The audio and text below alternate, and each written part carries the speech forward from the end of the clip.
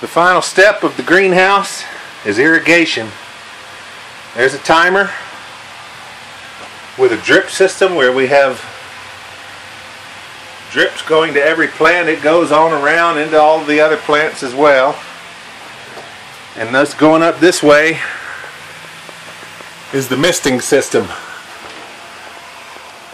It's misting right now. I don't know if you can see it or not.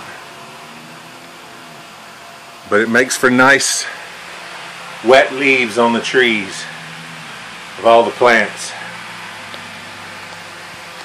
The greenhouse is complete.